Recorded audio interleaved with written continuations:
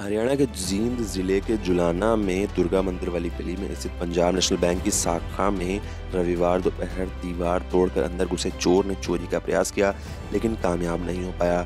उसने strong room को तोड़ने की कोशिश की, किंतु असफल रहा। इसके बाद उसने दीवार पर लिखा ट्राई अगेन बैंक प्रॉमिस चोर बैंक में लगे सीसीटीवी कैमरे में दीवार तोड़ता हुआ कैद हुआ है, पुलिस के मुताबिक शुक्रवार को कर्मचारी बैंक बंद करके घर चले गए थे।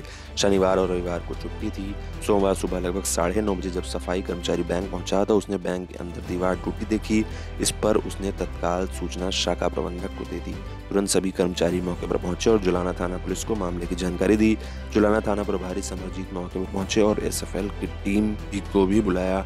जाँच में सामने आया है कि चोर बैंक की दीवार जो खाली प्लॉट की तरफ़ है उसे तोड़कर अंदर घुसा था। उसने स्ट्रॉन्ग रूम को तोड़ने की कोशिश की, लेकिन वो कामयाब नहीं हुआ। इसके बाद उसने स्ट्रॉन्ग रूम की दीवार पर लिखा ट्राई अगेन बैंक प्रॉमिस सदर थाना प्रभारी समरजीत ने कहा कि पुलिस ने मामला दर्ज करके आरोपी की तलाश शुरू कर दी है। इससे पहले तीस सितंबर 2019 को जुलाना के महम रोड पर स्थित कोऑपरेटिव बैंक में भी चोरों ने इसी तरह वारदात की थी।